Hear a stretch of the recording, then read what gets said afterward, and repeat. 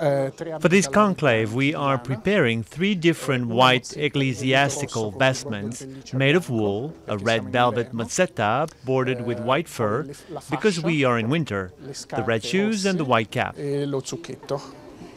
For the clothes, we can always adapt them. With the hat, it doesn't matter much. However, when it comes to the shoes, it's more difficult. He will not be able to wear the shoes if they are not his size. Therefore, we have them in all possible sizes.